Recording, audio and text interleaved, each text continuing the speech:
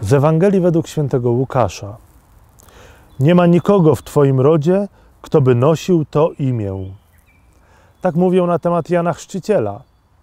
E, I to zdanie nam bardzo wyraźnie pokazuje, że w czasach mesjańskich zaczyna się zupełnie nowy ród, zaczyna się zupełnie nowa część historii, zupełnie nowy rozdział, zmiana wszystkiego, co się działo do tej pory. Wszystko, co historyczne, nie ma już znaczenia, bo tworzy się nowa historia.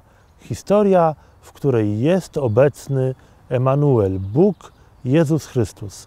On zmienia wszystko. Do zobaczenia jutro.